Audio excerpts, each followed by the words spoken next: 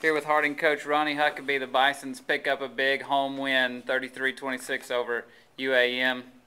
And, uh, you know, we got off to a slow start in the first half was, I uh, think that's an understatement. was, was not what, exactly what we were looking for, but a great job of them coming out in the second half and, and uh, picking up the victory. Yeah, we had some kind of, we were, we were in some kind of a tremendous funk the first half, and we just didn't, you know, our guys were not playing the way we normally play. We weren't executing on offense. I thought our defense was playing great. Yeah. You know, they were, they were defending well against a team that has a lot of weapons offensively. Yeah.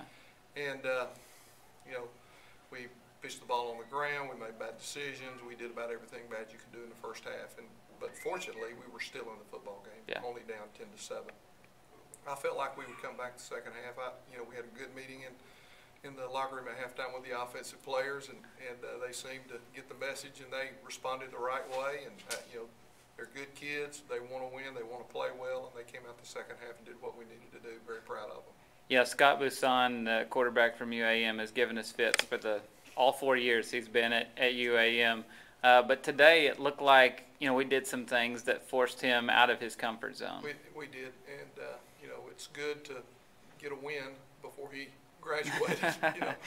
And, uh, you know, he's, he is one fine football player, have a tremendous amount of respect for him. He's very tough, you know, he's, he makes good decisions. He's just a really good football player. And for us to do what we did, you know, he still made some plays. Yep. But we kept him in check pretty much, kept their running game in check most Yeah. of the time.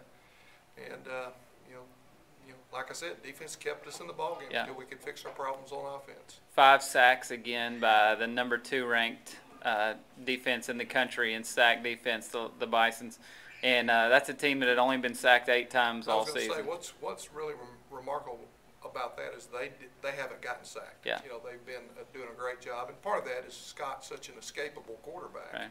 But I think that's a, you know, that's a hats off to our defensive line and linebackers because they really did a great job of putting pressure on him and then not letting him get away. Terrence Davis with two interceptions today, both on you know critical plays.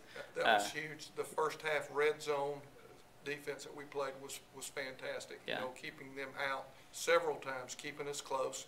That allowed us to come back like we needed to in the second half. Josh Powell got off to a little bit of a slow start, but then uh, you know he was the leader. I guess you look for him to be there in the second half. Yeah, he did. He, he came back and he was definitely more focused and definitely made better decisions and really threw some pretty balls in Yeah. the second half. So, and, and you know, obviously running this offense requires a lot out of your quarterback. Sure. And there's a lot of pressure on him and, and uh, he responded the way he needed to the second half. Tech for homecoming next week. Does it get any more fun than that? Uh, I tell you what, you know, Arkansas Tech is, is, uh, is a, probably the team in this conference from Arkansas that has had the most success since we've been in the Gulf South Conference. They, Right. they kind of are the program in Arkansas that everybody looks to and says, you know, we, we got to be able to compete with those guys. So Yeah. it'll be a great challenge. They're not having their best year, but still, they do a great coaching job over Yeah. there, and they've continued to get better. So we got to, we got to be ready to play. All right, Coach. Congrats on the win. Sky Good here with Terrence Davis. Terrence, two interceptions today. Uh, you know, you had looked like you had great coverage. Uh, that's a that's a good quarterback out there. Just talk about uh, your reads and and uh, the things that uh, the ways you were able to uh, to blanket those receivers and come up with big plays for the Bisons. Well, actually, this week uh, I took it upon myself uh, to watch a lot more film, study receivers, and um, basically just you know be more focused and be more prepared coming into this game on Saturday. And um, early on at the beginning of the game, they tried me on the first, uh, the, the opening play of the game, which gave me an idea that they were gonna you know uh, basically try me all game. So. Therefore, I just took it upon my hands to, you know, be prepared and just be in great position and make a play when I'm uh, fortunate to get the opportunity. One of the uh, interceptions you had was down right there on the goal line, and uh, looked like a jump ball. And may, you know, either one of you could have come down with it.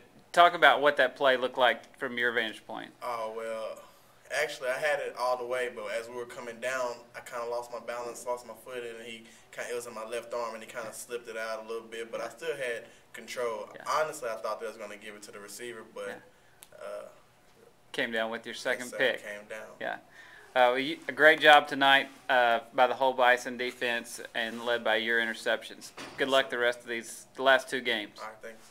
Here with Harding starting quarterback Josh Powell. And Josh, uh, the offense got off to kind of a slow start uh, today, uh, but rallied in the second half, scored 26 points. Uh, just talk about uh, the way we uh, played much better in the second half. Um, I felt like in the first half we just kind of came out a little lackadaisical. Um, but when we got into halftime, we all knew it. Um, Coach Huck came in there and tore us apart a little bit and got us motivated. So when we came out in the second half, we knew that it was on us. The defense kept us in the game, like they have done a couple times this year. They kept us in the game, gave us another chance, and uh, we took that second chance and put some points on the board. Uh, in the second half, on the on the option, you kept the ball a lot more. Was that something you saw on the defense that uh, that just opened up some holes for you?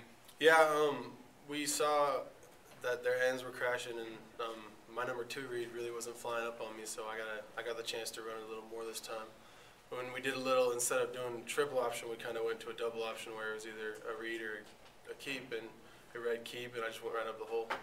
Two more home games left uh, to end the season, and uh, you know, and you know, as a senior, you've got two games left. Just tell me what you want to accomplish with these last two games. Well, I know we got some pretty tough teams coming. Um, I hope, just like everybody on our team, we want to win these. We want to win out, and uh, with the way the GSC is going, anybody can win, anybody can lose, and maybe if we win out, it'll give us a chance to maybe slip ourselves into the, the playoff run if uh, it opens up that way. But I mean, I know everybody here wants to win, and we certainly want to win out and get two great wins on the board for us.